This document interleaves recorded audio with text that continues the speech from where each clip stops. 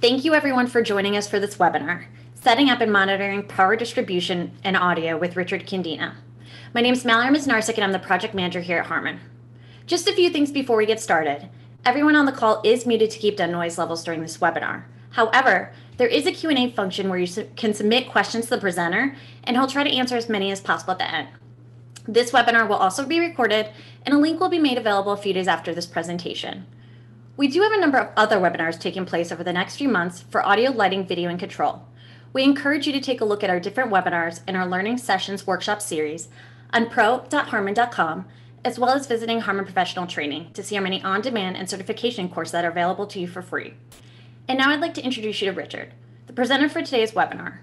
Richard is a freelance lighting professional, author, and trainer who has worked in concert tours, television, theater, motion picture production, and corporate events.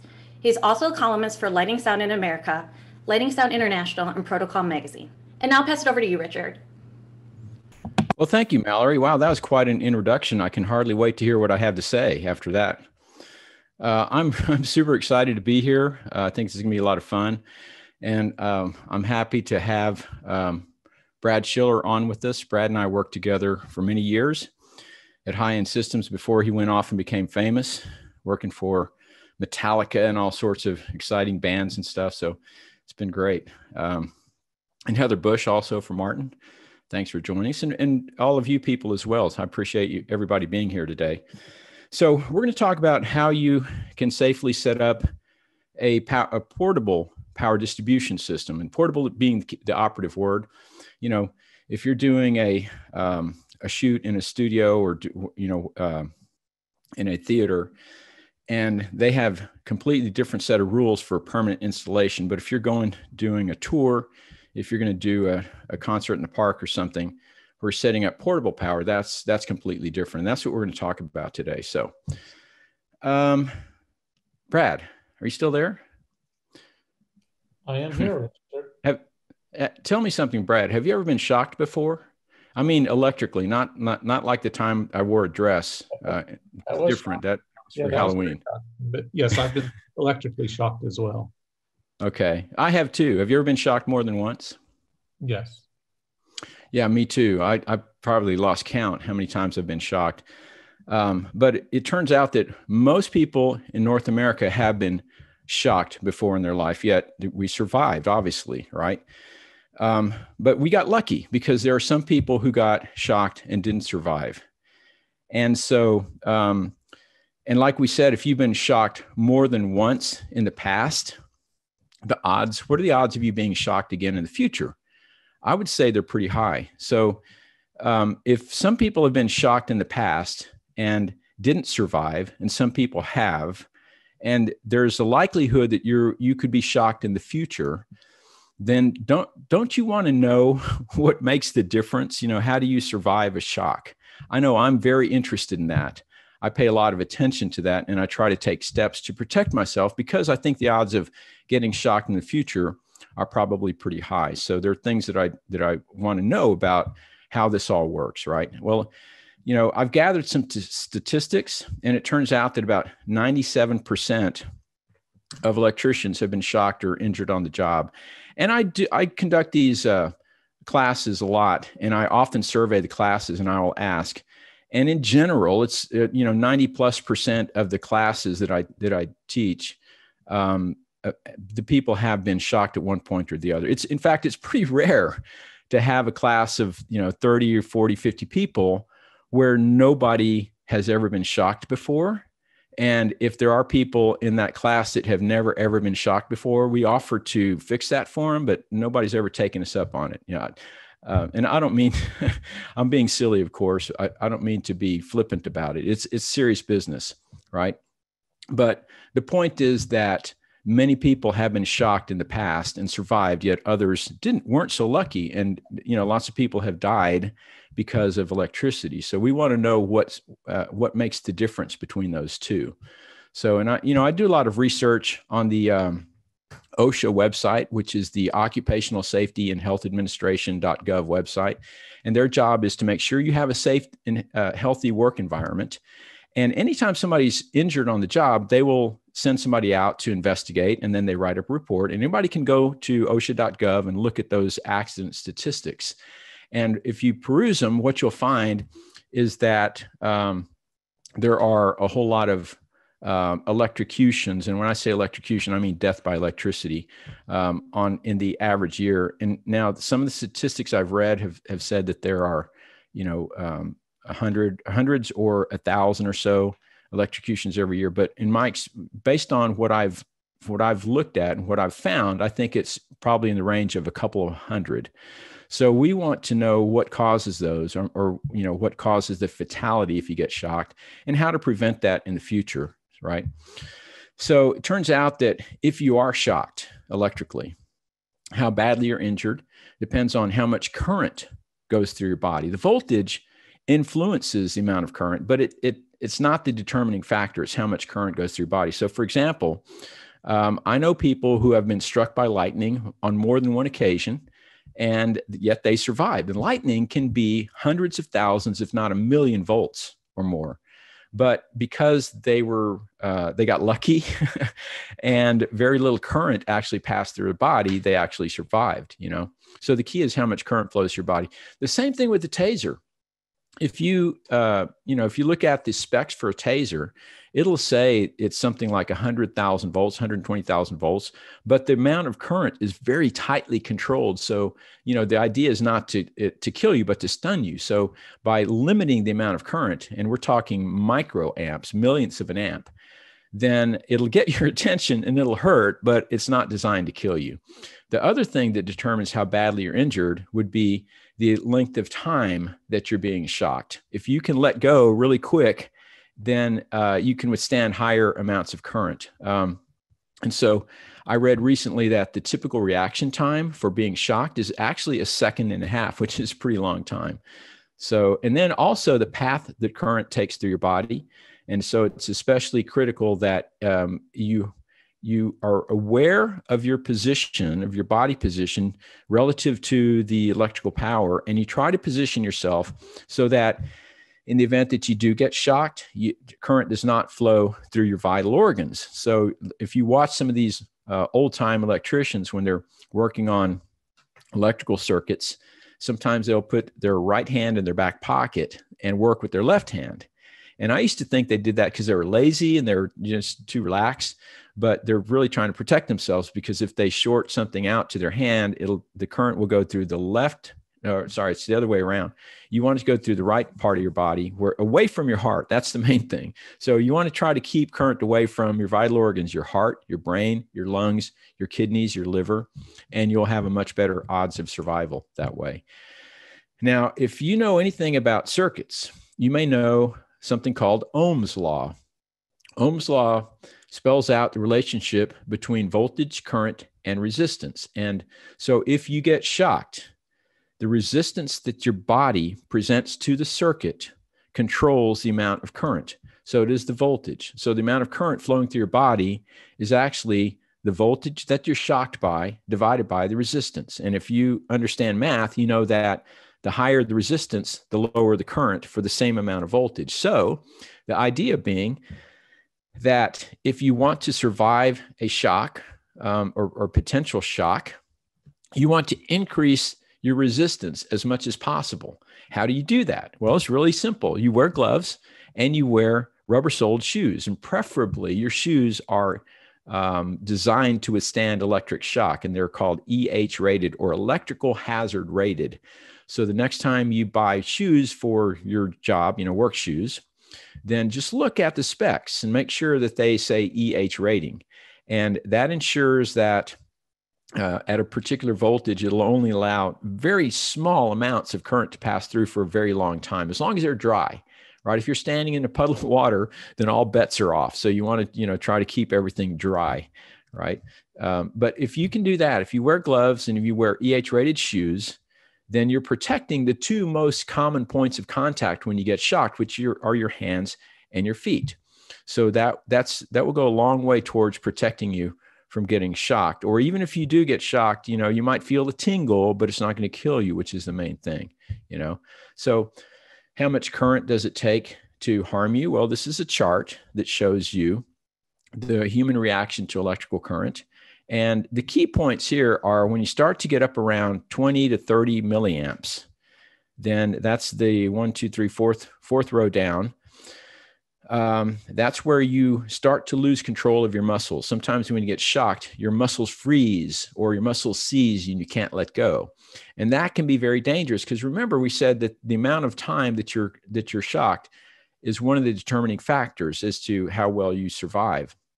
So if you could have a quick reaction time and you can let go, then you're going to fare much better than if you if your muscle seize and you get stuck on that conductor. And and you know uh, i do a lot of research online and um, i don't really recommend this but if you go to youtube and you type in stage electrocution then there's a lot of videos of people getting shocked. I do not like to watch them because especially the, the gruesome ones the more gruesome ones. But but if i just want to know you know have there been any new uh, electric uh, stage electrocutions, then you know I, that's that's a good place to go to look. And sometimes you will see people who are holding a microphone and they can't let go of it because their muscles have seized. Right. So as an electrician, one of the tricks that you learn is if you want to uh, say for example i often recommend that you you know heat is a byproduct of of electricity so if you want to know if a connector is melting rather than grab it with your with your hand you want to use the back of your hand and feel to see if it's getting too hot. Because if you use the front of your hand and you have um, broken insulation and you start to get shocked and your muscles can seize on it like a microphone and you can't let go. That's very dangerous. So around 20 30 milliamps. Anything below that in terms of the level of current is probably survival. It might hurt but you can probably let go anything above that um, can be very dangerous as well. So now the uh, the previous chart, this chart that we're looking at um, tells you the amount of current, but it doesn't say much about the element of time. And we said that time, the length of time that you're being shocked, has a big influence on how likely you are to survive. This chart is better in that regard because it shows you the amount of current across the bottom and the length of time across the side. And it's divided into zones and so the everything in the blue, the green, the yellow, that's survivable. When you start getting into the red zone, that's where it could potentially be lethal. So that's the area we want to avoid, right? And where does that start? Well, if you look at the line, you know, where the first red line starts and, and trace it down, you'll see it's a little above 30 milliamps.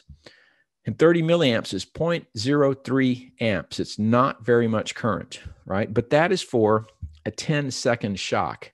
And when you're being shocked, 10 seconds can be a really, really long time. You know, 1001, 1002, 1003. That's that's way too long. I'd, I'd have been out of there long, long ago, you know. So it's more realistic to look at where does that red line start um, with a reaction time of about one second, and that that would be around 40 milliamps.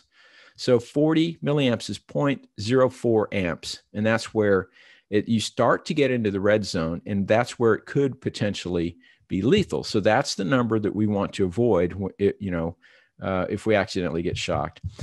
If you understand circuits and you understand Ohm's law, then you um, the next logical question to ask if we know we want to avoid 40 milliamps and more the next logical question to ask is well if i'm being shocked the resistance is the, the resistance of, of my body so how many ohms is the human body? So that's a reasonable question to ask. And this chart attempts to answer that question. Now you can see there's a lot of variables here.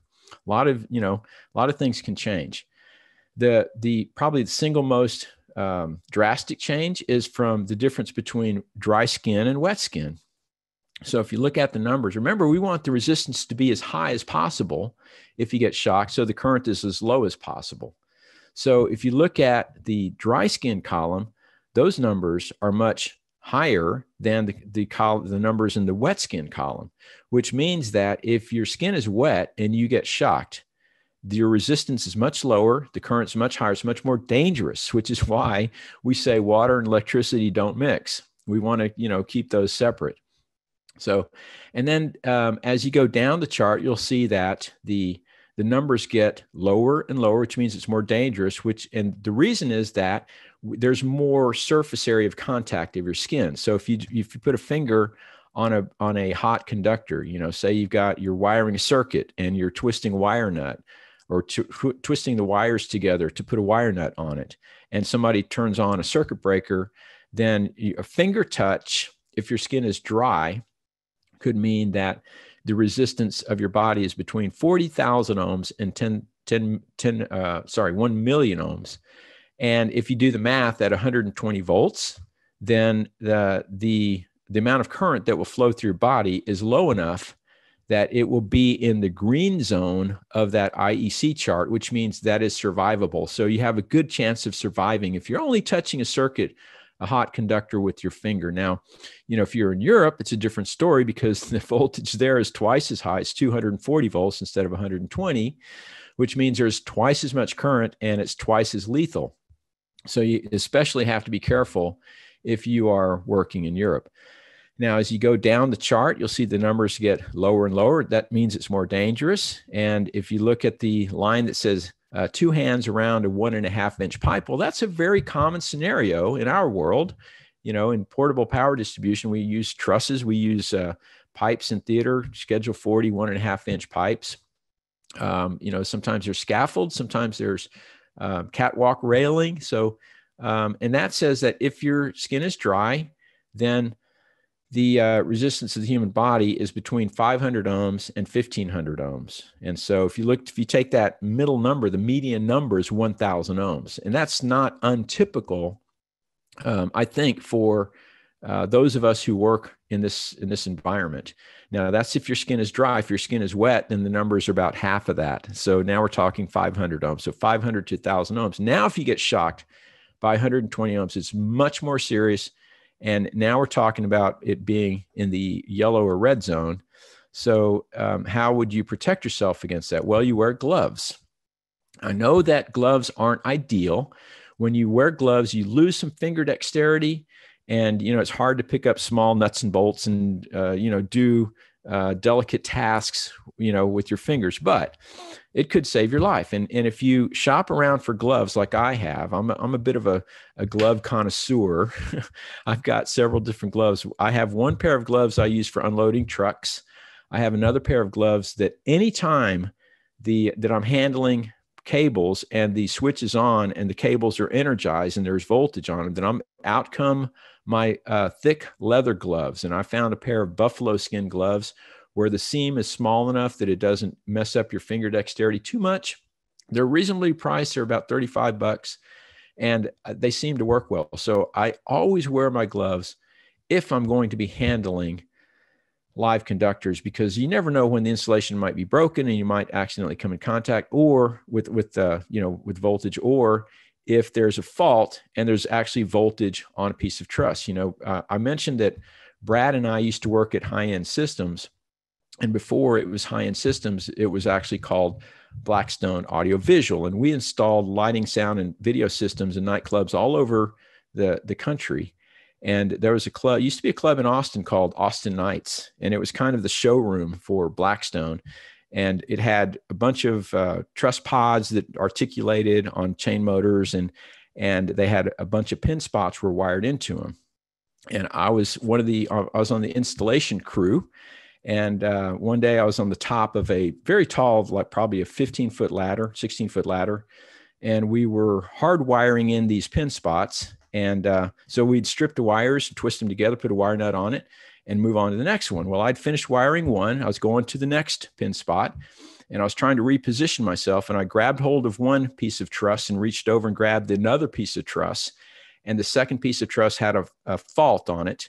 It had 120 volts on it. So I grabbed two pieces of truss that had 120 volts between it. Um, and I was really fortunate.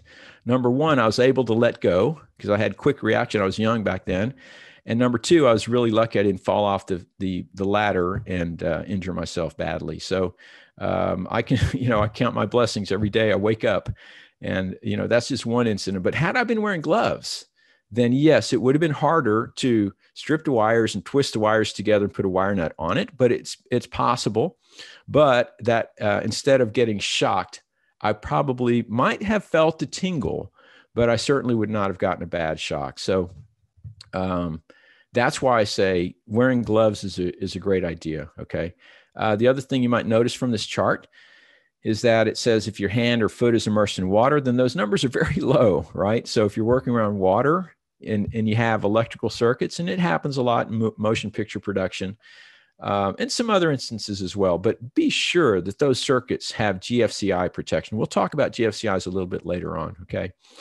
Now, and then lastly, the uh, it's that last line down there. Look at that last line. It says the resistance of the human body internal, excluding skin, is between 200 and 1000 ohms. Now, what in the world does that mean? What it means is that it, you know, your skin it has pretty high resistance, especially if you have calluses on your fingers and your hands.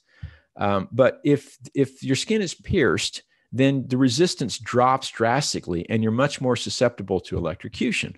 You know, so what can happen is if you're close to higher voltage, like 480 volts, it can arc over to you, and that arc can then pierce your skin, and now your your uh, resistance has dropped dramatically, and a lot of current will flow, and that's very dangerous. So, how can you protect your skin from being pierced? Wear gloves. Wear thick leather gloves. So there's another argument for wearing a good pair of thick leather gloves if you are an electrician, if you're setting up portable power distribution equipment. Um, now, here's a little extra. Here's a little uh, thought um, exercise, thought experiment. Um, what is the least amount of current that could potentially be fatal? So, um, it says, you know, a lot of research I've done says that a shock in the range of 100 to 200 milliamps is most likely to be fatal. So, um, that's a little bit higher than what we've been talking about. And but if you think about 100 milliamps, that's 0.1 amps and for a resistance of thousand ohms, that would that's only that's only uh, 100 volts. So 100 volts, um, if you if you present a resistance of thousand ohms, would cause 100 milliamps to flow through your body. That could potentially be lethal. And then ask yourself this question. Um, the IEC chart says that as little as 40 milliamps could cause heart fibrillation, and that could potentially be fatal. That's where the red line starts. So how much voltage would it cause if your resistance was thousand ohms to cause 40 um, to cause yeah 40 milliamps of current to flow through your body. Well you do the math it works out to be 40 volts 40 volts. Now the first time i looked at those numbers i questioned myself. I said did i do the math right? That just doesn't sound right. Can somebody really die from 40 volts? Well i've done research and the answer is yes. People can and have died from as little as 40 volts. It's been documented. It's not um, it's it's not highly probable, but it is possible. There are there have been documented cases where people have died at 40 volts. And I bring this up because in 2014, November 22nd, 2014, I'll always remember that date because that's when Augustine Briolini died. Augustine was the leader of a band called the Krebs. 22 year old kid had a had a, a wonderful um, um, uh, career ahead of him they just recorded an album. They went into, uh, they were going to do a tour. The very first stop, they went into a theater and they were setting up. And during sound check, he's an electric guitar player, was an electric guitar player, and the lead singer songwriter. Um, and he touched the microphone and it killed him. And when that happens, and I've and I hear about it, then I want immediately want to know what went wrong, and more importantly, how can we prevent that from happening in the future? So I went and did research, and, and usually the answer is that there's a faulty ground. And in this case, the, the ground was lifted with a ground lift adapter. It's actually a grounding adapter. We call them ground lift adapters because we use them the wrong way. They should never, ever be used to lift the ground. And that cost this uh, young person his life. And so um, when, when that happened, then um, I went online to do some research. And you can go, there's all kinds of you know forums and i went to i think it's called the blue room audio forum and somebody had posted on it because uh, um, there have been you know other people have have been in the same situation and survived somebody posted on there and said well it couldn't have been 120 volts because i've been shocked by 120 volts and 120 volts isn't enough to kill you and that's so wrong because it absolutely is enough voltage to kill somebody under the wrong circumstances. If you've been shocked by 120 volts and you survived, that's only because the circumstances just happen to be in your favor on that day. So don't ever think that just because I'm working with 120 volts or less, that um, it could not be fatal. Now, people often ask me about phantom power. You know, phantom voltage is 48 volts. Is that enough to kill you? Well, um, in that instance, no. Why? Because the the the transformer is too small to provide enough current. So there's not enough energy behind it. So what typically what happens if is that if you get shocked by 48 volts of phantom power, the voltage actually drops because there's not enough energy behind it to drive enough current that would that would cause you um, severe injury. So it's kind of like a taser. You know, it's it's high enough voltage, but it's very very little current. So uh, I wouldn't worry too much about phantom power. Now, when you're setting up um, when you're setting up portable power distribution, then uh, certain things that uh, you should know. And, um, you know, first of all, I hope that um, if you are um, setting up a power distribution system, if you are not experienced, I highly recommend that you certain things you should not do, like uh, you know terminating cam uh, feeder cable and energizing a switch, and, until you have um, experience with you know maybe you can um, you get the training, you get the proper training, and you uh, kind of apprentice with somebody or work with somebody who has the experience so they can make sure that you're safe while you're doing it. But, you know, the first step is to get the training, and that's what this is all about. So let's talk about how you properly set up portable power.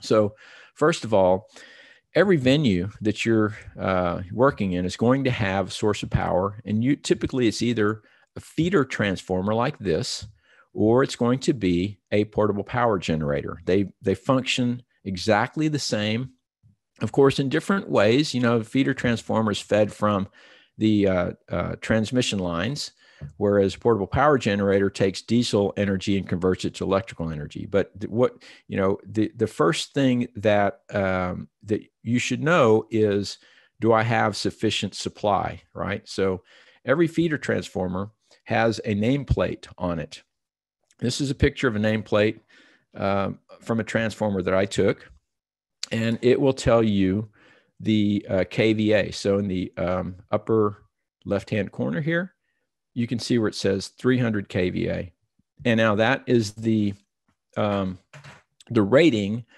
of this feeder transformer. Now, what's important to us is how many amps can it output, and there's a simple formula to figure out the amps, and that is that you divide by the volts. You take the volt amps and you divide by the volts to get the amps. And so if you if you know how math works and you pay attention to the units of measure, volt amps divided by volts equals amps. It's real simple. So you could say 300 and the K stands for thousand. So 300,000 divided by 120 volts is equal to and that would be um, 2400 amps. Now, that's the total number of amps. Now, typically, and this is a prime example, this is going to be a three phase transformer. And you can tell by, well, it says three phase right there on the nameplate. So, so that, you know, that's all you need to know. But typically, there's a connection diagram. And the output here is, is indicated by X1, 2, and 3. So, those are your three hot uh, phase legs. And so you know that each of those uh, outputs one third of the total. So if it's 2400 amps total, 2400 divided by three is 800 amps per phase or, or per leg. But typically, you know, you don't have to do the math uh, if you memorize these numbers because typically a lighting system will will be connected to a 400 amp three phase switch. That's a total of 12 um, yeah 1200 amps altogether. And that requires it's connected to a 150 kva uh, feeder transformer. Now a lot of times audio systems are connected to a 200 amp three phase switch and those are connected to a 75 kva feeder transformer. And sometimes you will find a 100 amp three phase switch and those have those should be connected to at least a 37.5 kVA feeder transformer. So if you memorize those numbers, um, that's what you need to know. So you can you should check out your feeder transformer, make sure you have enough power uh, for the switch and for your needs. Uh, also, by the way, for 400 amp service, 400 amp three phase service, you can use 4 aught conductor. Now we'll talk about the cables a little bit later on, but the feeder cable that you're that, that connects to it should be the wire gauge should be at uh, 4 aught. That's it's going to say 4 with a slash and a 0.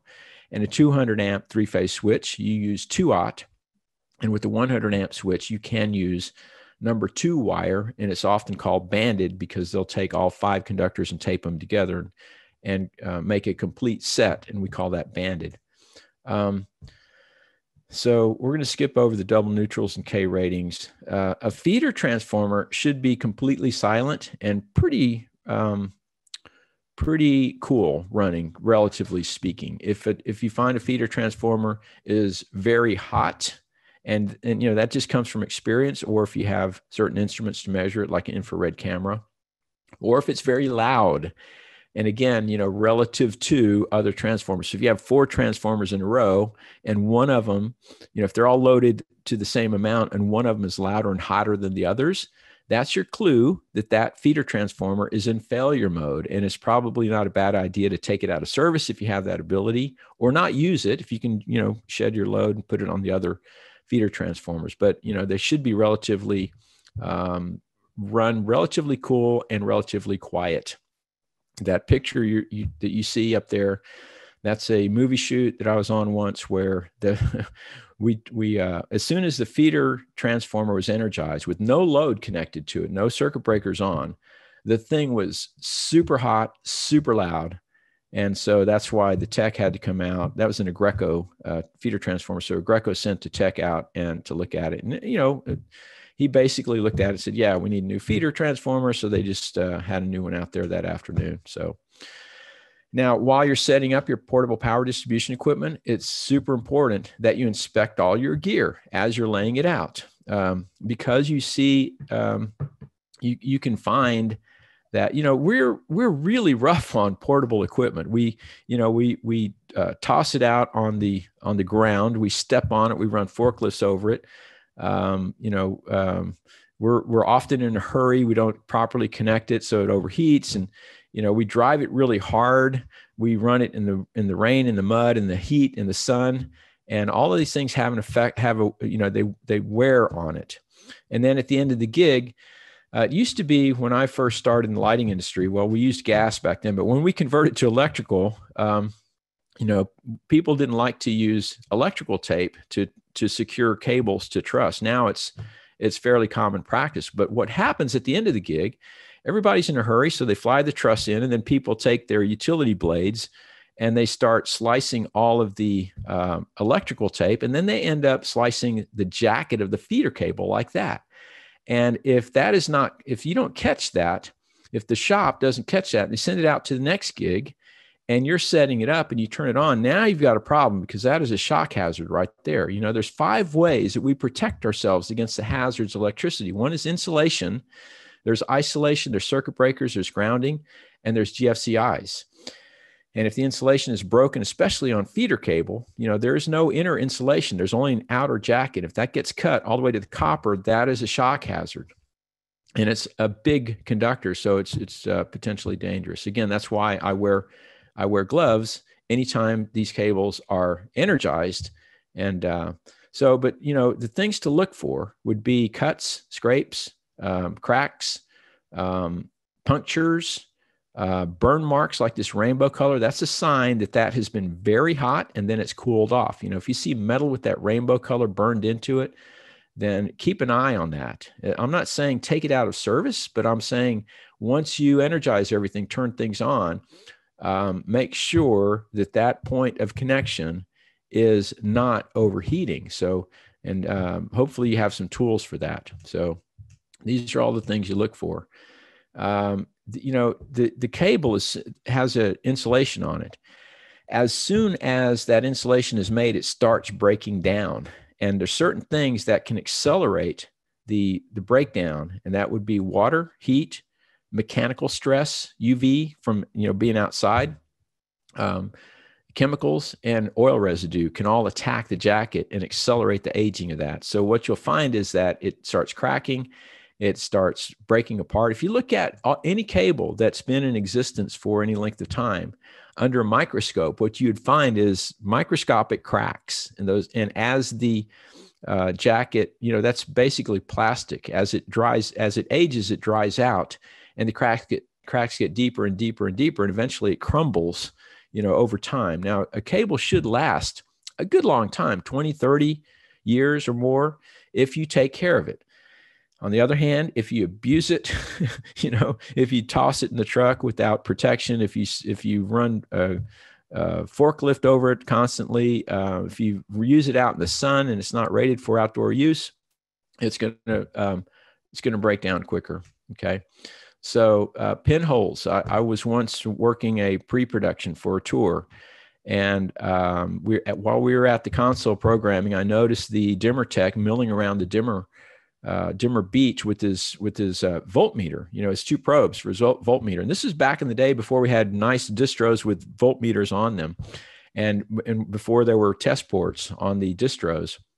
And he wanted to meter the voltage. He couldn't find a place to put his probe, so he just took the jacket of the feeder cable and he stabbed the uh, probe through the jacket of the of the feeder cable. Now he's just violated the very first way we protect ourselves against the hazards of electricity, and that is he put a hole in the insulation.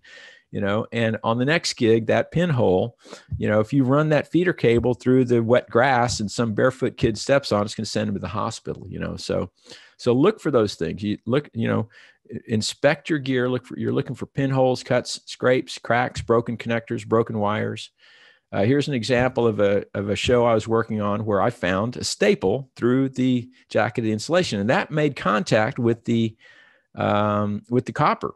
You know, so if you turn that on, now there's 120 volts on that relative to ground on that uh, staple. If you're using it in the states, uh, this is another example of a show that I worked on where this feeder cable came straight off the truck and I told my crew, be on the lookout for these things. And one person brought this to me and said, here's what I found. And I looked at it. You can see, you can plainly see the copper there, right? So I took some um, self vulcanizing silicon rubber tape, which is, I, I always carry this around with me for this exact reason. And it goes by different trade names. There's rescue tape, there's F4 tape, there's 3M, um, you know, there's Scotch 70, but it has a backing on it. You peel the backing off and you stretch it and you wrap it. And every wrap is is uh, supposed to be good for a thousand volts of insulation. So if you wrap it a couple of times, that's pretty good. Now, silicon rubber is not very durable. It's pretty soft and you know it feels really nice, but it's not very durable. So th- what I'll do then is I'll put some uh, electrical tape over the top of that because electrical tape is vinyl and that's much more durable. And now you have a temporary solution to get you through the show. You don't have to put it back on the truck. And on this particular show, we were running short on feeder cable because somebody miscounted. But um, you know, if you um, if you have the time and you have the um, the materials, you can you can temporarily patch it. But then uh, make sure so you cover it with electrical tape. Make sure you mark it so that when it goes back to the shop, they'll know what the issue is and they can you know and i think the uh, the best fix for this you cut it into two pieces of cable now i've, I've had people tell me that there are permanent fixes for broken jacket on feeder cable i've never uh, used that or seen it but um, i'm told it does exist so if you have the right equipment maybe it can be fixed uh, permanently. The other thing you want to look for is missing ground term, especially ground terminals. That is so important that grounding pin right there can mean the difference between somebody living and somebody dying. Just you know that's what happened to augustine briolini is that somebody lifted the ground. So it's the same effect as cutting off the grounding pin or pulling it out like in this this particular instance. So when i find cables like that then i always carry side cutters with me some dikes diagonal cutters and I, i'll cut off the male connector so it cannot be put into service. That's super important. You also want to look for burn marks on connectors that's a bad sign because that burn mark means that it's been arcing and that arcing is going to oxidize the copper or the uh, the metal which increases the resistance. That increases the heat and it becomes a vicious cycle and eventually that's that whole connector is going to melt down. So if you see something like this you take it out of service and you don't use it look for burn marks. Um, you know, this um, these stage pin connectors, these flat connectors are notorious for that because the pins get compressed. And unless you're constantly maintaining them and checking to make sure that they're not too compressed, and they're not they're not going to make a good connection. It's going to be high heat, uh, high resistance, high heat, and eventually it's going to melt the whole connector. Um, look for uh, broken nibs in the cam lock connector. So the way cam locks work is you insert them, you twist them, and there's a channel in there with the nib to stop it. That you know that that limits the travel on it. And I've seen plenty of those that have been worn down or broken off. So look inside of those, make sure that they're good. In, in order to be code compliant, Cables have to be marked with the wire gauge, the cable type, and the temperature rating. The wire gauge is important. You want to make sure, especially with, with feeder cables in North America, because they're individual cables. So you have five different cables. They should all be the same wire gauge, except for the ground. The ground can be smaller to a degree.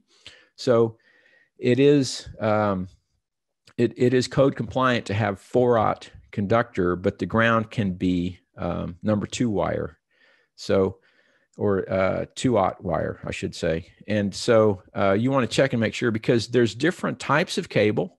There's type W, there's type SC, uh, there's type um, PPT and PPE, and they all have different thicknesses of the jacket. So it's really hard to distinguish between different wire gauges if they are not the same cable type. And you will see the cable is stamped, it's silk screened on, or it's stamped, indent printed on the cable and sometimes it's hard to read but you know somewhere along that length of cable it will be legible and it's important to look at it and read it and make sure that all the cable sets match. Otherwise you could end up with a problem.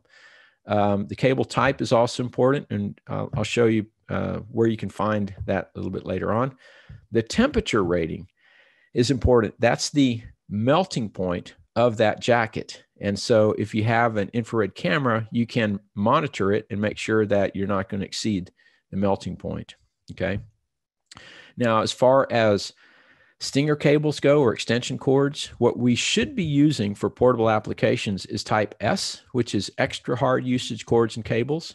If you go down to Lowe's or Home Depot, chances are when you buy an extension cord, it's a type SJ, which is junior hard service cords.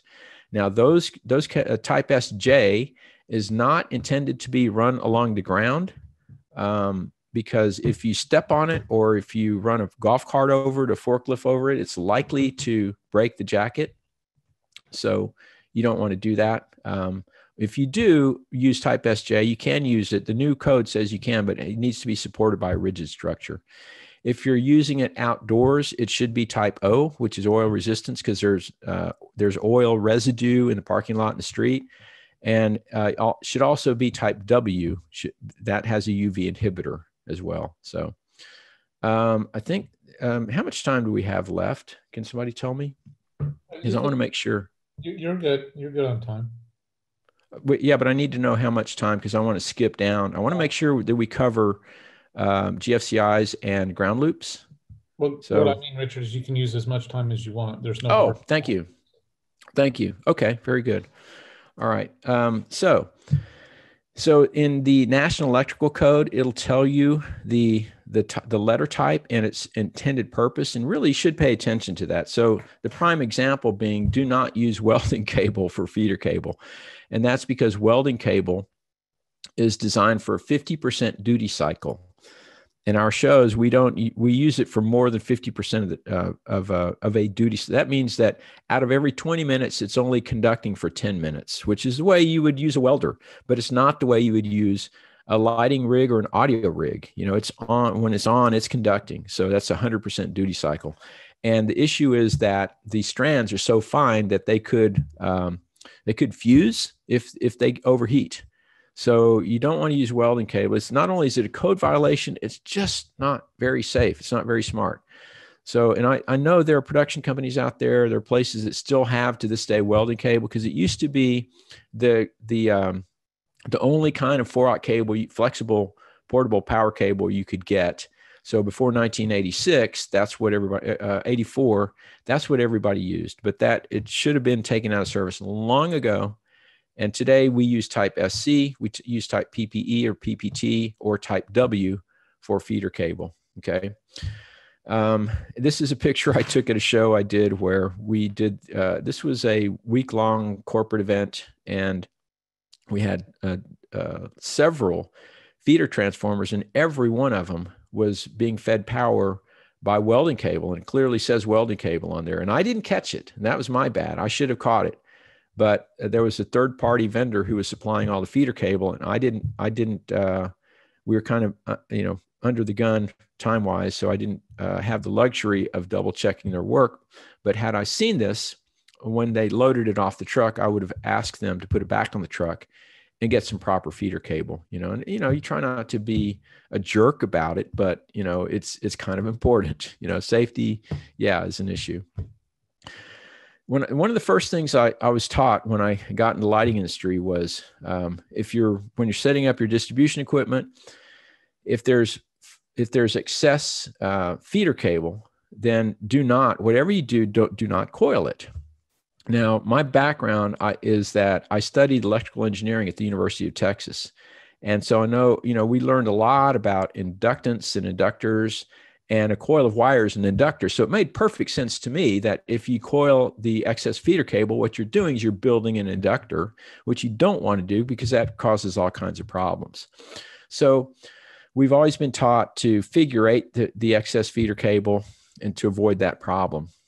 Now, for many, many years, I would say decades, I ran under the assumption that the reason we don't coil excess feeder cable is because an inductor would cause the power factor of the entire system to drop, and that would cause more current to flow, and that could, could cause the whole system to overload. And but it turns out, you know, when I started uh, teaching ETCP prep courses and we started doing hands on workshops and we're actually setting up equipment in these classes and running tests, you know, one of the things I wanted to do was, well, let's see what happens if we coil the cable, you know, fun, right? Let's do an experiment. So we'd set up these systems and we'd coil up the feeder cable and I, and I would meter it and I would expect to see the power factor drop and the current to rise as we coil the cable. And guess what? It never happened. It turns out that the jacket is so thick that it doesn't make a good inductor. You need to have, you know, inductors are made with what's called magnet wire, which is bare copper wire, you know, solid wire that has a varnish on it so that when they coil it up, it's really close together and it really in, uh, in, inducts, so to speak. Is that a verb? But I just made it one. But um, the point is um, that it turns out that that's not the reason we don't coil feeder cable, but there is a very good reason not to do it. I'm not saying go out, go out and coil your feeder cable. What I'm saying is, what I learned is that when you coil up the feeder cable, then you can start to feel, you can literally feel the ground start to vibrate from the magnetism. And if you grab the, the conductor, you'll feel it vibrating at 60 hertz. And if you take your amp meter, you know, your clamp meter, normally you have to open the jaws and clamp a conductor to get a reading but you don't even need even need to open the jaws. If you just dip it in the center of the coil, the numbers will, will start climbing. So there's a really, really strong magnetic field there. And so that's really why we don't coil our excess feeder cable because if we create a giant magnet, it's going to wreak havoc on the audio system and the video system, and sometimes even the lighting system if you have DMX controlled cables close to that magnetic field. And that is what drives audio techs crazy. So, as a courtesy, we try to spread out the magnetism. Now, does figure eight um, do, work to uh, to uh, get rid of the magnetism? Well, yes and no. I mean, taken as a whole, because one side of the figure eight, the magnetism is in one direction, the other side, it's in the opposite direction. And taken as a whole, the magnetic field cancels out. But really, you do have two separate fields of strong magnetic fields. So you have local magnetism. And if you run audio cables near those, you're still going to have problems. So we try to separate our power and our signal cables to, to have a cleaner system. That's one way to, uh, to uh, ensure clean audio. Uh, when you're um, when you set up your power distribution system, you're going to lay out your cables, you're going to lay out your portable power distribution units, and you have your feeder. There's basically two parts to your system. You have your feeder circuits, which has the feeder cable. Those are the big cables, like she's connecting here. And then you have your branch circuits, which are your stinger cables, your extension cords, and your Socapex. Those are all branch circuits. And the distro is in between. So the um, the idea being that when you are terminating your feeder, that can be very dangerous. You have to be very careful because the switch that you're connecting it to, you know, the the big gray box in the wall with the handle on the side, that's called a switch. It can be very dangerous. There's there's it has big conductors, it has big bus bars in it, and if something malfunctions, then and you and you energize it, there's going to be an explosion and a fire, and people can get hurt. They have gotten hurt. So that's what we're trying to look out for. So I highly recommend that you work in pairs. So one person should terminate the cables color to color. So green goes to green, white to white, black to black, red to red, blue to blue. The second person should come along and verify that it is connected properly color to color and that the cam lock connectors are inserted properly and twisted all the way because depending on the brand, some of them go 120 degrees, some go 180 degrees. So you want to make sure they're properly terminated. And before you even do that, you need to verify. I need to rearrange my PowerPoint, but before you um, terminate your feeder, you need to make sure that the switch is off and that there's no voltage there because the last thing you want to do, never ever uh, terminate, connect cables while the voltage is on. That's how uh, I think I may have a picture in here. Uh, I was doing a class in Chicago a few years ago, and um, there was a young guy in the class who showed me a picture of second degree burns on his hand because he had tried to mate a Socapex connector and the connector had spun. So he shorted out the pins and it basically blew up in his hand and he got second degree burns. Now that's with a Socapex connector, which is number 12 wire, which is very small wire. If you do the same thing with 4-aught, which is much bigger wire, it's going to be much worse. So you want to turn off the switch. Now the switch can malfunction. So you want to use the three point test to verify that there's no voltage on that switch before you terminate your feeder cable. How do you do that? Well, you take your tester you know you want to use a voltage sniffer or, or a voltage meter voltmeter and you want to test the tester first. So you go to a known circuit you know an outlet or whatever that you know is on has voltage you test your tester make sure it's working. Then you go to the switch and you um, you you check the voltage at the switch at the output make sure the voltage is actually off and then you go back to the known good circuit again and test your tester again because what can happen if you're using a voltmeter then the leads can break internally. So your meter will show numbers, but it won't register voltage because your leads are broken. So you want to test the tester and, and then verify there's no voltage before you terminate your feeder cable. When you connect your feeder cable, always connect your ground first. That's the green wire first, the neutral second, that's the white wire. Then your phase conductors last. That's your black, red, and blue. And on the out, after the show is over, you want to turn everything off because again, you don't want to break the connections while it's conducting current because that can cause an arc flash and that can burn you as well. So you want to turn everything off, turn off all the circuit breakers on the distro. Um, and you want to verify there's no voltage. Now, this is where a voltage sniffer comes in really handy. That's a little uh, wand that you can buy for 30 bucks um, that will light up if there's voltage there. And you don't have to uh, touch a live exposed conductor. You can just touch the insulation if there's voltage there, it'll light up and tell you that it's still on. So, so um, you kill out, you know, turn off all the circuit breakers, check the voltage, then you disconnect the cables. But you do it in reverse. You disconnect the phase conductors first, um, the neutral second, and then the ground conductor last. So, um, the, the um, there's a little um, proving unit that Fluke makes. I, I imagine there's other companies that make these as well. I just learned about these last last year when we did a, a class at Disney and the the Disney techs are really good. They they're very well trained, and they carry this unit around with them. So sometimes it's hard, you know, sometimes it's not convenient to find a live known a known live source to test your tester. So they carry this proving unit around with them. You strap it to your belt, and you can put your probes on it, and it it will check your meter, make sure your meter is working. So that's my next purchase once uh, when we get back to work. So, but I say work in pairs because I want the first person to terminate the cable and second person comes and checks the work. Is it color to color? And here's the thing is it turns out that one out of every eight males is colorblind.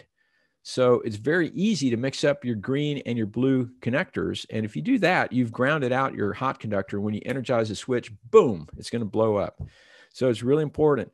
And also, so even if you're not colorblind, depending on the lighting, it can be difficult to distinguish between blue and green connectors as well because sometimes the sun will fade the colors. When when we were doing a class recently, we at, at this was actually at Disney um, end of last year, beginning of this year. And uh, because the techs uh, worked the overnight shift, we had to do the class from 7 p.m. to 3 a.m., I think it was. So here we were at two o'clock in the morning out in the parking lot under um, sodium sodium lamps, and um, they had some feeder cable that had been used outdoors. The colors were faded, and somebody pointed out that if you hold up the two connectors side by side, one green, one blue, under the sodium vapor lamps, you could not tell the difference between the two. I don't care how good your vision was, it was almost indistinguishable. So you have to be really careful about that. So um, make sure all the circuit breakers are off before you tie everything in. Then sometimes you have inrush current, and so you want to turn the breakers on one at a time. Inrush is where you know certain loads like uh, tungsten, big tungsten lamps, when you first turn them on, they draw a huge amount of current for a short amount of time. And uh, LED walls will do the same thing. So, um, so you stand to one side, turn your head, hold your breath, throw the switch. And I, and I, you know, I created this little illustration here because this is my memory of doing a show. We, I was on a tour once where we went into a theater, and the uh, the dimmer tech was you know, this was his first tour. He just graduated from Belmont College in Nashville, and uh, he was he was responsible for setting up the distro. I was the uh, lighting director, and um, so I was busy setting up front of house. But the house electrician tied in the feeder switch, tied in, tied in the feeder cable, and then left the theater. And the dimmer tech finished putting all the distro together. When when he turned on the switch, um, and I happened to be on stage when it happened, I heard what sounded like a shotgun blast and out of the corner of my eye i saw it looked like a ball of fire coming out of the switch and he's really lucky that he was okay he was shaken up quite a bit but you know the it, it was a bad arc flash and it could have burned him but he survived you know it, it missed him. Basically the ball of fire went right by him. So that's why i say you stand on one side of the switch before you energize it before you turn it on. You turn your head you hold your breath because that air is going to be superheated. And if you get startled and you inhale then you could you could burn the lining of your lungs but then you turn it on. So that's a safe way to do it okay? Once you have energized the switch then you want to verify the voltage and so you want to go downstream as far as possible. You know the further downstream you are in the distro the smaller the wires the safer it is you know so and a lot of distros now have test ports. Use those test ports because they're small access ports that are connected to the bigger bus bars by a little bitty tiny wire. So it makes it much safer to test your voltage. And you so you want to get a voltmeter and you want to put one probe on the black one on the green. You should see 120 volts in north america um, if you go from red to green it's 120 blue to green 120 and then you check black to red should be 208, red to blue 208, black to blue 208, and then green to white should be zero volts. Now, sometimes you might get a little bit of voltage between green and white, but it should not be more than two or three volts. But that's the uh, the proper way to meter for voltage.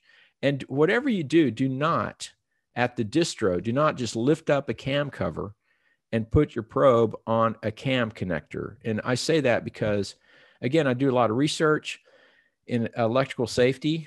And I found this uh, accident report on the OSHA website in t- August 2018. Somebody had a portable power generator and they were trying to meter the voltage at the generator. So he lifted up the cam cover, put his probe on the volt probe on the on the cam connector, and he accidentally touched it and it killed him. So there's an example of why we don't do that. We need to go downstream to meter the voltage. Okay. Um, so I'm going to skip over a couple of these slides because I want to go to.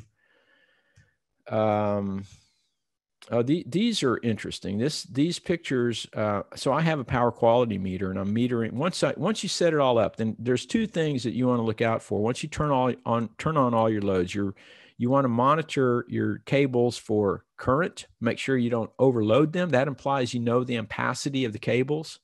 So, and the, the important ones would be your feeder cable. So uh, once again, 4-aught uh, we consider to be good for 400 amps, 2-aught 200 amps, and number two wire, which we call banded, uh, 100 amps.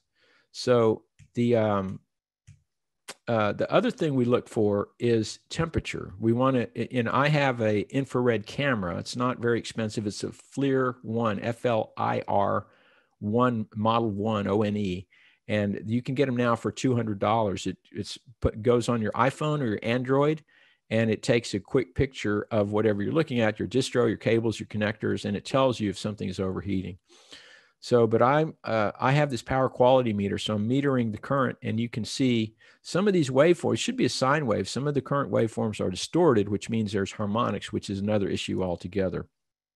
Um, so the uh, and and again, if you have harmonics, you want to well maybe not again, but uh, if you have harmonics, you want to make sure you don't overload the neutral conductor, because when you have high harmonic content, that's what that's one of the things that can happen is you can overload the neutral and that implies you know the ampacity of the neutral conductor. So you, so you have to look at the wire gauge on the neutral and make sure that you're not conducting more than its ampacity so again if it's 4 aught 400 amps. Here's an example of my infrared camera capturing um, you can measure the, the the heat on a connector in this case 47.5 now again this implies you know the temperature rating of the of the uh, conductors and the connectors you're using. So um, you can you can monitor connectors, um, conductors, feeder transformers. Uh, here's an example where this um, at in the morning this feeder cable I measured 97.6 degrees C. Uh, which is not beyond the temperature rating, but then an hour later it was 104.9 C, which is higher than the temperature rating of the um, of the bus bar. The bus is the bus is rated to 90 C, so that's that that was a big issue that we had to take care of. So there's some um, examples of just you know you can videotape it, you can take still pictures, but you can look and see if your connectors and your cables are being overheated. And if you find something, of course, make sure you mark it so when it goes back to the shop that they know exactly what the problem is. Don't be uh, obscure about it. Um, you know, and if you want, if you don't have an infrared camera, you can use the back of your hand to monitor the heat. So you should know if you're a working electrician, you should know what normal feels like. If you have a four aught cable, what does, and it's conducting 250 amps, you know, how hot should it get, right? But use the back of your hand, not the front. Grounding is a hugely important issue, and that's one I want to talk about real quick. But I'm going to skip down to okay, here, here we go. So there's a lot of confusion about the purposes of the uh, what we call the ground. And really, there's two different things we're talking about when we refer to ground. One is the connection to the earth with the grounding rod, and that is completely separate from the green wire that connects to the equipment. So if we have a piece of gear there's a power cable that has a black wire, a white wire, and a green wire. The green wire is actually connected to the metal chassis. That's this dotted line. And under normal circumstances, when everything is working right, the current goes through the black wire, through the load, back through to the supply through the white wire. But if there's a fault and something shorts out, like a friend of mine, for example, was working on a moving light and um, when she put it back together, she accidentally pinched the hot wire between two pieces of metal and it cut the insulation and shorted it out to the chassis. So now the conductive chassis takes the current and it passes it through the green wire. And because there's no nothing to impede the flow of current, it's a direct short, so it'll trip the circuit breaker. So that's its intended purpose. Notice this path has nothing to do with the earth. Here's the earth over here. There's no current flowing to the earth. This is strictly going through the hot, through the chassis, through the green wire. So why do we call this a grounding conductor? That's the, you know, why do we call that ground? Uh, te- you know, I like to refer to it as the bonding conductor because it's bonded to the metal chassis. And its function is uh, to make sure the circuit breaker trips in the event that something goes haywire over here. It has nothing to do with the connection to the earth. So if you lift the ground, then what you're doing is you're eliminating that path for fault current. Should there be a fault, now the chassis has voltage on it. but there's no nothing to trip the circuit breaker. So the voltage will stay on that chassis. Now, if somebody comes along and touches it, they complete the path for fault current through the earth back to supply. And that's how people get killed because somebody lifted the ground. So, under no circumstances is it ever okay to use a ground lift adapter to lift the ground. Those are actually made to, you know, back in, um, we didn't start using green wires in electrical circuits until 1963. And until then, that meant that all of the outlets had were two prong outlets and there was no grounding pin. So those buildings are still around. So if you go into an older building and you have a modern day device with the three prong connector, but you have a two prong receptacle, it won't fit. So you you use this adapter to go from three prongs to two. But you'll notice that little green tab down there. That's that's very important. That's there for a reason. The purpose is that if you uh, unscrew the faceplate of that two prong receptacle and you put that screw through the green tab and plug in your device, and then you screw the the uh, screw back into the junction box. If the junction box is metal and if there's metal conduit, now your modern day device, the green wire is connected to building steel. It is properly bonded or grounded, as you would call it. So if something goes wrong, it will trip the circuit breaker. But if you don't do that, now you've broken the safety mechanism that protects people from getting shocked, which is why it's never okay under any circumstances to lift the ground. Now, that's a common practice in our industry. I talked, I see, and I talk to people all the time who use, who carry these around and they use them to, to cure ground loops and that's the wrong way to get rid of a ground loop. The, the proper way is to use a, um, a ground, uh, a um, audio isolation transformer, like um, the uh, uh, like a SESCOM, um, you know, or or to build an adapter where pin one doesn't connect to pin one. But otherwise, you're you're literally putting people's lives at risk, and that's a practice that has to stop. And the only way it's going to stop is if we um, raise awareness and we understand the causes. The, you know, what is the purpose of bonding? What is the purpose of grounding? What is the purpose of the green wire? And what happens if we break that connection? And this is exactly what's going on. So, so hopefully, you know, um, given time and given the right resources and, and the right training, you know, I don't think anybody ever intentionally wants to put anybody's life at risk. So if we understand what we're doing, then I think that we'll naturally phase that out, which is what we need to do. So now there's one other thing that I wanted to cover. Um, and I'll be happy to take questions as well.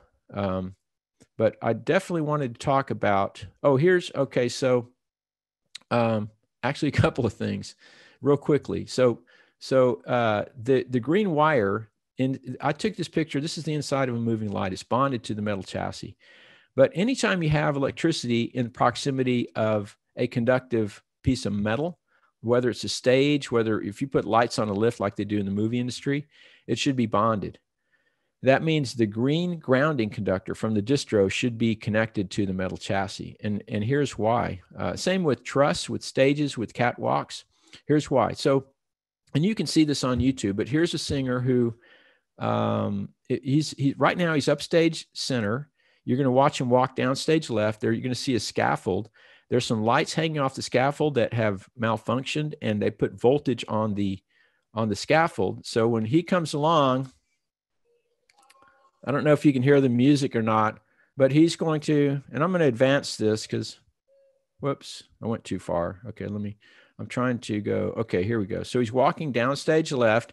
He's going to touch the scaffold and he's going to get a shock. You'll see over his left shoulder, there's a puff of smoke and he jumps off the stage. He's okay. He lives, he survives, but he got a bad shock because that scaffold was not bonded. So I don't know if you could hear that music or not. It's very loud in my in my headphones. If if it was drowning out what I was saying, he walked downstage. he grabbed the, the scaffold, he got a shock and he couldn't he said he couldn't let go so he jumped off the stage to save his life which is probably the right thing to do he was badly shaken he did survive uh, probably only because he is big strapping healthy guy um, I've, I've tried to reach out to him to to get his uh, story but uh, he won't reply to my Facebook mess private messages. So if you're out there, you know, um, I just love to talk to you. But anyway, so the point is that everything should be bonded. If if that scaffold had been properly bonded, then what would have happened is when they hung those lights on the scaffold and they shorted out to the to the scaffold, it would have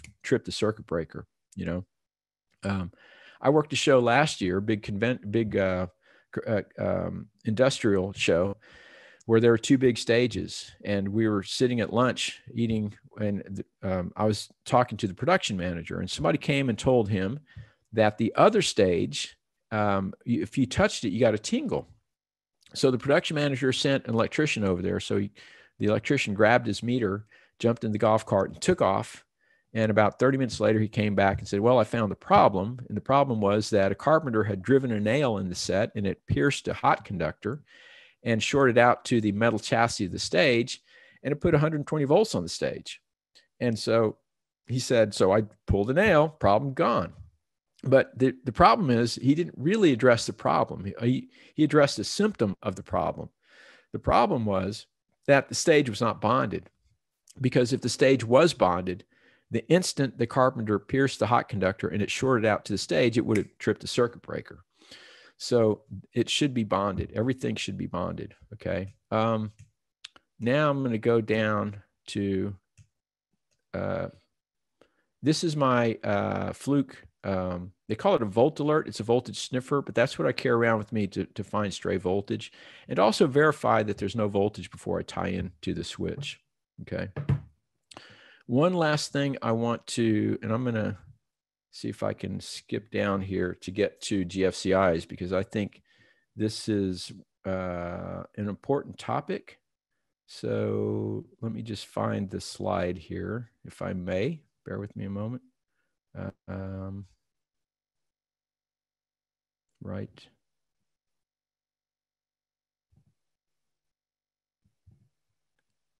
Yeah. Okay, here, here we go. So now I can't see to, need to, slideshow, there we go. Play from current slide, here we go. All right, so um, let's talk about GFCIs real quick because anytime you use there so first of all there is a recommended practice for the use of class a gfcis in the entertainment industry and but and but basically in a nutshell what it says is anytime you use electricity in the proximity of moisture or water it should be on gfci protection and and the, the reason is that again if you if your skin is wet then the, your resistance is very low and so if you get shocked it's much more dangerous because the um the the current will be much higher and so remember this IEC chart that we talked about. And so th- here's the way GFCIs work. So um, it, there's a there's a sense coil, and the hot conductor of the circuit and the neutral are run through the center of the sense coil. And under normal circumstances, you know, here's the load over here, here's the supply. And under normal circumstances, the outgoing current and the return current are equal in opposite directions. So the magnetic fields they create cancel out and nothing happens. But if the um, if there's a fault or if somebody's being shocked, then the outgoing current is higher than the return current. And that generates a magnetic field, which puts voltage on this integrated circuit chip, which turns on this solenoid and it opens the switching contacts. And that happens in a class A GFCI. And that's like if you go down to Lowe's or Home Depot and you buy a GFCI off the shelf or all, you know, the, all the ones that are in your house, in your kitchen, your bathroom, your garage, outside, those are all class A devices. And a class A has to trip if there's six milliamps or, of leakage or more within 5.59 seconds. And so that makes them personnel protection devices because if you look at um, this IEC chart, um, six milliamps in 5.59 seconds is barely into the yellow. But it turns out most manufacturers actually beat that spec by about 50%. So they will actually trip down here in the green zone, which means that they will save your life. Now, that's true of 99% of the world's population. So it's not 100% guaranteed that a GFCI will save somebody's life. It depends a lot really on the condition of their health, their age, you know. So the, um, the most susceptible um, parts of the population would be infants and elderly people and people with compromised health. So if you're working with any of those, you have to be especially vigilant, especially careful. Uh, even if you're using GFCIs, uh, you have to take care of them. Now, the other thing about GFCIs is that they have a lot of components in them. And I think I, I may have, there's, there's a better drawing of that circuit. But uh, yeah, here we go. This is a GFCI that met death by hammer for your educational benefit. And you can see here's the integrated circuit chip. Here's a silicon controlled rectifier, which is basically an electronic switch. This is a metal oxide varistor, a voltage surge um, protection device. This is the solenoid but there's capacitors, there's uh, resistors, there's all kinds, of, there's a sense coil, all kinds of components. And any one of those components can fail at any time, which will leave you without protection. And there's no outward indication on the older GFCIs that they have failed, which means you have to test them periodically. So your homework tonight from this, uh, this webinar, go into your bathroom, test your GFCIs, go into your kitchen. And it's real easy to do. There's a test and reset button. Um, you press the test button, you should hear it click, it'll shut off. You press the reset button, it'll click back, it'll start back up again. So go check them in your garage, outside, make sure they're all working. Because here's the thing they have so many components, they fail. And I read an article recently that said about 18% of the GFCIs uh, out of a random sample of in people's houses, 18% are not working. So if you find they're not working, they're there for a reason. Replace them, fix them before somebody gets hurt. Now the modern day GFCIs are different. The you know the old GFCI like this one, if it fails, it still passes voltage, it still passes current. But the modern day ones are built so that if any of these components fail, it will not work. So that's a little bit better. So, but anyway, um, anytime you use electricity and proximity of moisture water, it should be on GFCI protection. There's all kinds of form factors you can get. You can get, um, you know, stringer boxes. You can get these portable GFCIs. Are real. I'm a big fan of because they're they're relatively inexpensive. You can get them now for about fifteen dollars. Um, and I carry a handful of these around with me. Whenever I work shows, I offer them freely to anybody who wants to use them because uh, we don't want another Augustine Briolini. You know. So had they instead of lifting the ground, or if if you know if they did, even if they did lift the ground, if they used a GFCI, um, then Augustine Briolini would be alive today. So you know for a twenty dollar device, it, we could have saved Augustine Briolini's life had these techs known.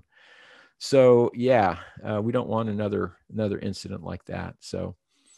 Um, does, are there any questions so far? Is anybody is it monitoring that? Yeah, we have a handful of questions if you're ready to start the Q&A. Sure, let's do that. Okay, perfect. So the first question is, in South Africa, we usually run sound power on generators three-phase 63 and 32A distro to 16A power outlets. Sometimes the electrical engineer gets the wiring wrong, and even with the earth spike, we would still get shocked. Why would that be? Well, there can be lots of reasons. It could be uh, faulty insulation. It could be faulty um, wiring. Um, the the important thing now, see, here's a common misconception. He said even with the earth spike, the earth spike has nothing whatsoever to do with clearing a fault on a chassis.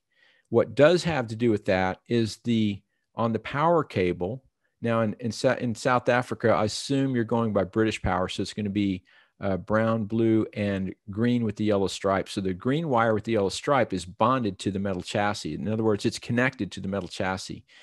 If that is missing, or if it's broken, if it's uh, if the connector doesn't have the grounding pin on it, then the the brown wire can come in contact with. Is that right? The brown is the hot, I think.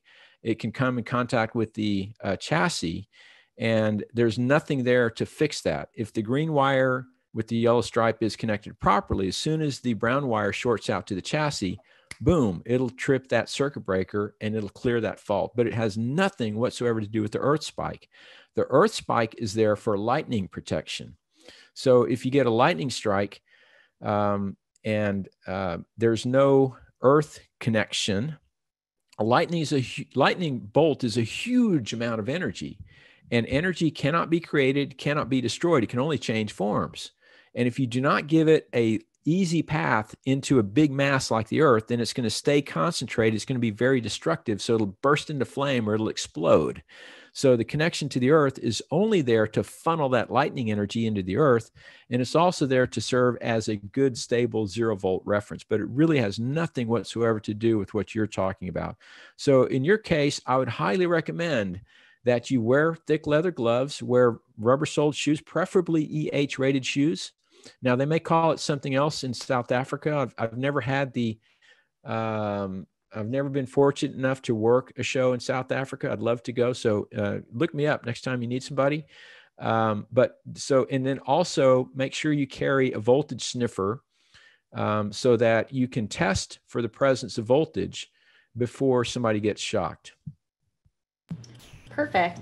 We had a lot of questions come in asking if this material or the PowerPoint um, is somewhere. Did you want to put up your um, contact slide so that they may contact you? Um, I would be happy to. Um, how can I do that? do you have a slide with like your contact information at the end? It's the, first th- yeah, the first. Or the first slide. slide sorry. Right. Yeah. Okay. Let me go to that and go yeah, here is my, there it is. And how do I, oh, slideshow. Come on. There we go. There we go. Okay, so there's my email address. I'll be happy to share this with you. Just uh, reach out to me. And um, I will do that. We still have a handful of questions, so I'll move on Great. to the next one. Is sure. it true that PowerCon True One pins can sometimes get misaligned? Yes. Uh, um, Neutrik sent out a bulletin that the it is possible to um, to 180 those. So there's a fix for that, and I don't remember off the top of my head. But if you go to the Neutrik website and you just do a search for True One um, True One Bulletin, then you should be able to find that. Perfect. The next question is why are isolation transformers for touring audio often loud? Ah, yeah. So we talked a bit about that. Um, so those, uh, so what what they're talking about is um, oftentimes um, audio crews, sometimes video crews as well, will carry around their own feeder transformer, so that um, they have they have uh, cleaner power. Because if you just use house power, now you could get induced noise from the uh, lighting dimmers, especially, and from rigging motors, especially, which can uh, wreak havoc on the the uh, noise bed for audio. So if you have an uh, audio isolation transformer, then that effectively is a barrier between all of the noise that's on the house electrical system and your audio system. It's a very very good way of uh, having cleaner power. The reason that any transformer is loud is because it is uh, it is especially if it's portable. It's been tossed around a lot. It's been uh, moved around a lot, and it's basically starting to go into failure mode. The louder it is, the the closer it is to it, its end of life. And the reason that they get loud is because if you you know an audio a, a, any transformer is two windings. You know you take a coil of wire you wind it around a core and then you wind another one on top of that that's the secondary winding. And that core that it's wound on um, in order to make the transformers more efficient is laminated. So if it is you know say four inches thick it'll have a bunch of uh, quarter inch laminations that are glued together and that increases the efficiency of a transformer. And a transformer is the most efficient machine that humankind has ever built when they're brand new. They should be around 98% efficient.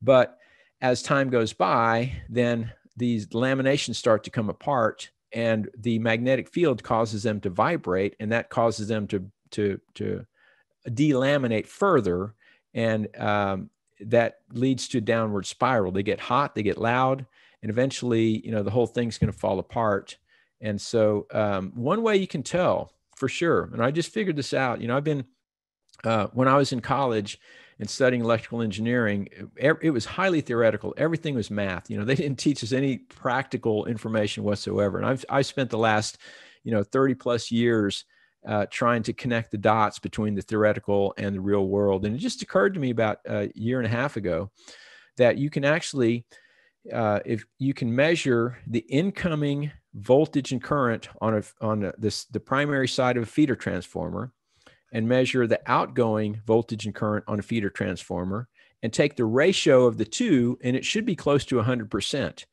And if it, uh, it, in real in the real world, it's going to be like for a brand new feeder transformer, it should be about 98%.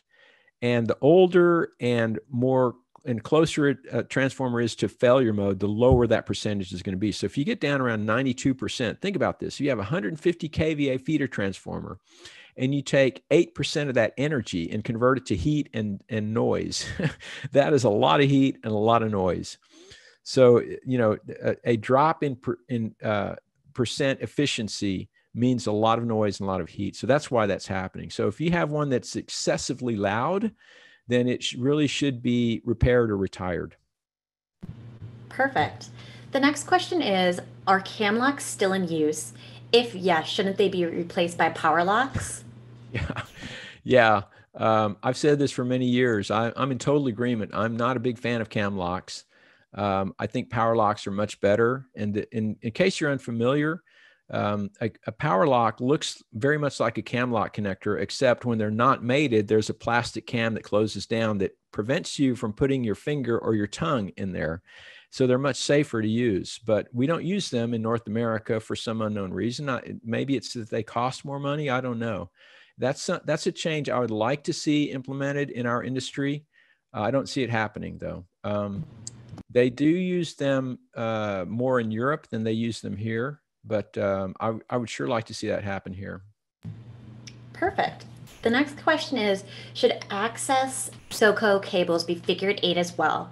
Does the magnetic field work the same as a feeder cable does?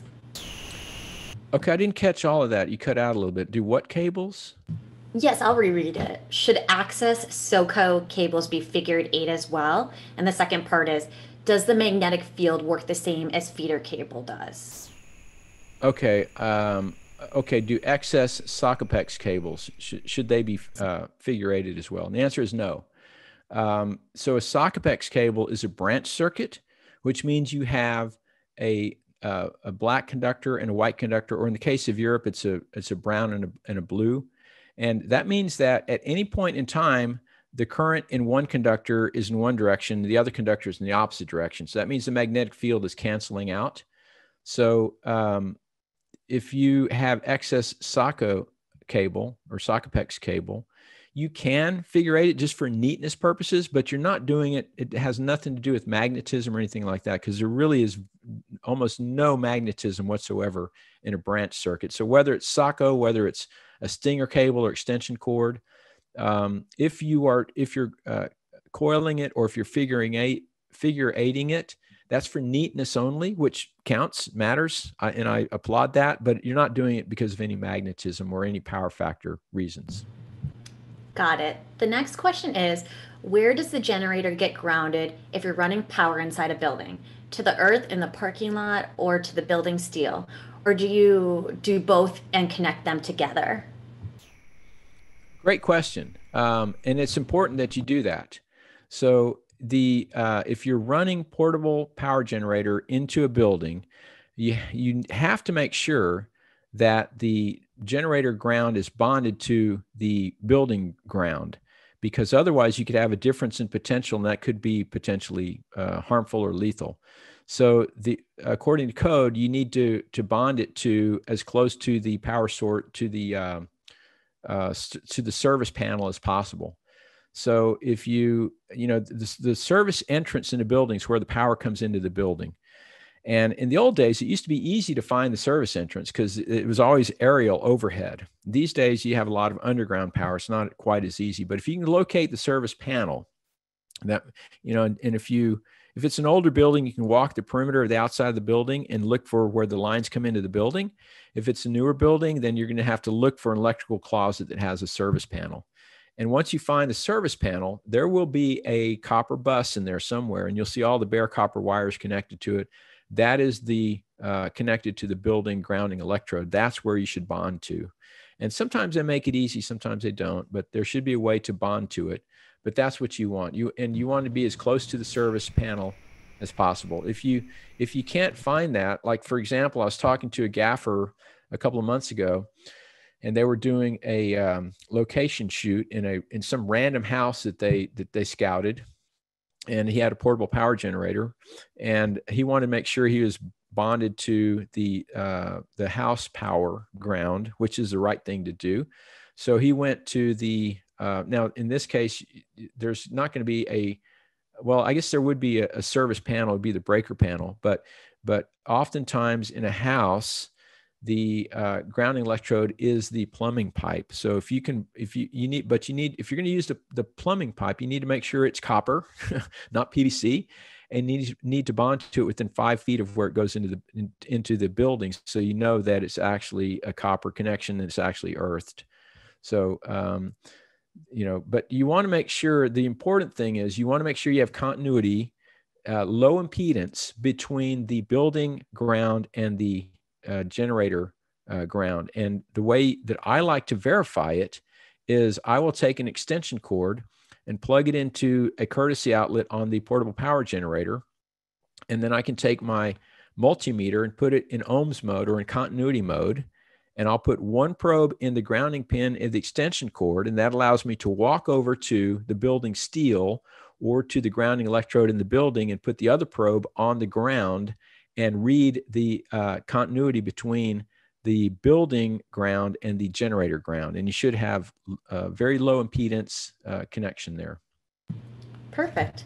The next question is In a concert environment, who is responsible for bounding the stage to the ground? Yeah, that's a great question. And, and unfortunately, it's one that uh, in practice we don't often do that. And I don't, I don't know that uh, anybody is uh, taking responsibility for that. Um, I would say that the um, ideally the the head electrician should make sure that the the stage is properly bonded, but oftentimes that doesn't happen. And I think the you know there's not a huge number of accidents. I showed you that video of that scaffold. You know that's an example where it, that should have been bonded. Um, but if if there were um, a huge number of accidents like that, we'd probably probably be more vigilant. But I think it's important to do so that we don't have a spate of accidents like that. So I would say, you know, um, the the uh, electricians should be responsible. They should take the responsibility. It should be incumbent upon them. They shouldn't wait to be told to do it. Just you know, just uh, make sure to do it. When I'm working a show, once we have everything set up, then um, if we have time and we're sitting around doing nothing, I'll often go and check for that those kinds of things. Perfect. The next question is Can you recommend classes to take from the novice who wants to start learning to the professional who just misses working? Hey, I happen to know a guy. Uh, that guy is me, actually. And, uh, you know, I'm not here to, to blow my own horn or promote myself or anything.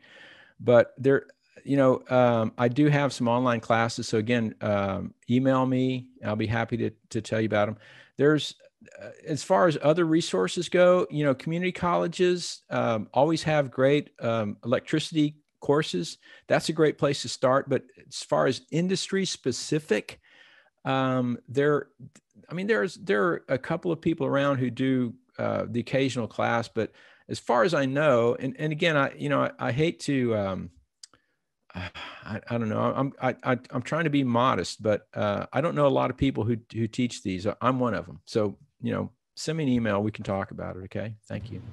Great. The next question is. Uh, just to clarify, if a ground has been lifted on a cable, a GFCI will still protect the system? Yeah. Yes, it absolutely will. And this is one of the myths about GFCIs that I often hear. People say, oh, um, if you if you don't have a ground, then a GFCI doesn't work. It absolutely does work. In fact, um, if you have an older building that was built before 1963 that has no green wire in it, and I I can uh, testify to this because we have a lake house that was built in 1950, and uh, part of it uh, there's a, it's a two wire system, and I I went through and I put in GFCIs because you're required by the National Electrical Code should you remodel that home, it's required by code to have to replace those two prong outlets with GFCIs, and they work just fine without the green wire. Another very common myth I hear is that you cannot plug a GFCI into a GFCI, which is absolutely not true. I, I used to do it all the time before the pandemic when we traveled. Any hotel room you go in, the bathroom, there's a GFCI outlet on the wall, and the, the hair dryer now has the the connector has a GFCI on it. And where do you plug it in? You plug it right into the GFCI. So you're plugging a GFCI into a GFCI, and it always works. It's never an issue. So you don't need a ground for GFCI to work. In fact, if you don't have a ground, I highly recommend that you put it on GFCI protection because that way, you know, the lack of the ground is what kills people, and the use of a GFCI is what saves people's lives. Perfect. So we have quite a few more questions if you still have time. Absolutely. Bring them. Perfect. The next question is What is your thought about the use of voltage boosters? Uh, well, you know, there's there's many occasions where you should uh, you need to use them. Um, uh, a buck boost transformer is often used if you're touring Europe with uh, American gear. You need a you need a buck boost transformer to go from um, 240 to 120 or vice versa. If you're using European gear in the United States, you need a, a buck boost transformer to go from 120 to 240. So there are absolutely um, applications where they can be where they should be used. I know uh, oftentimes video projection companies will use them if they have long runs of power where you have excessive voltage drop and you need to get the voltage back up in order to uh, make sure that the project the big you know 20k 30k ANSI lumen projectors work and there's nothing wrong with that.